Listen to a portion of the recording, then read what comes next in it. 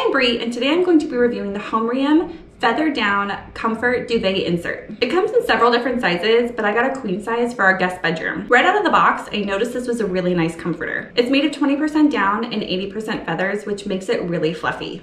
It has four corner tabs and four metal loops, so it will secure to a duvet cover really well. It has a box stitch, which makes it extra durable. It also has a really high thread count, which makes it really breathable and will keep the comforter from getting too hot or too cold. I'm really happy with this duvet insert. If you're looking one that will stay put inside a duvet cover and isn't too heavy, I highly recommend this one.